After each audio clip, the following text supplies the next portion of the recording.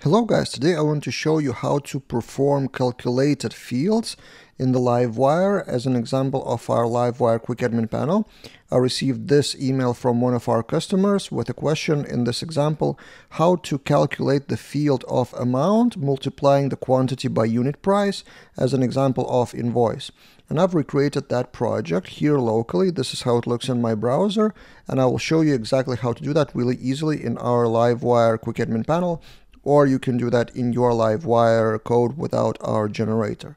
So in our case, we have Livewire component of invoice detail create in app HTTP Livewire invoice detail create and all the object for all that invoice detail data is this one, invoice detail variable.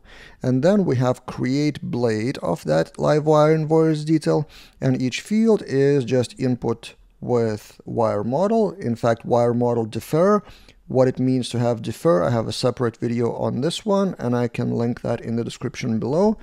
And every field is wire model to invoice detail dot something. In our case, it's quantity, unit price, and then there's amount text field, but it should be calculated.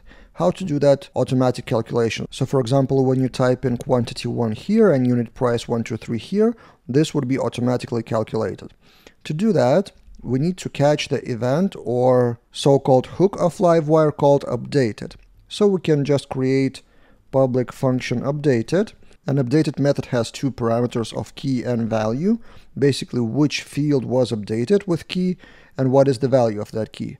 And we should check if in array key of what fields we need to monitor, invoice detail dot quantity and invoice detail dot, I think it's called price, no, unit price, unit price. So if we have key in those two, one of those two, then we do this, invoice detail equals, invoice detail, what's the calculated field, amount equals this invoice detail quantity times this invoice detail unit price.